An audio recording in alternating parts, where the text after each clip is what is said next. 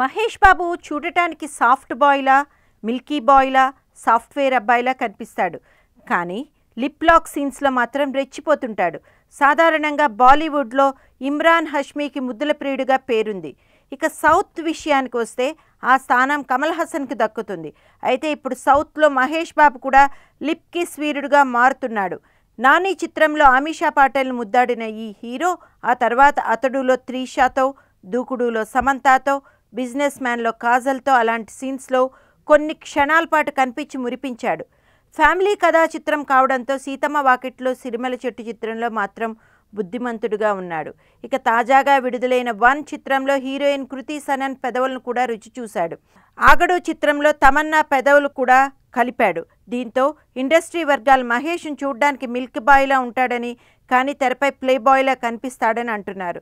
మొత్తానికి లిప్ కిస్లతో మహేష్ తన ఖలేజా చూపిస్తున్నాడు.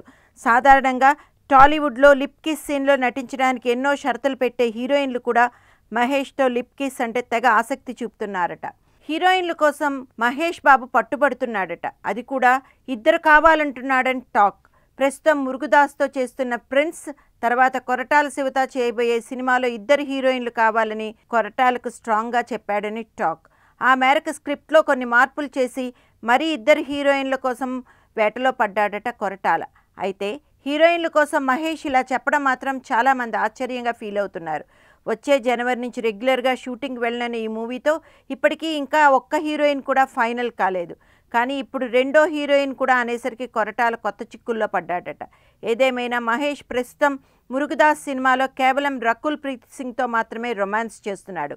ఇక నెక్స్ట్ మూవీలో మాత్రం ఇద్దరు హీరోయిన్తో సయ్యాటలాడబోతున్నాడన్నమాట.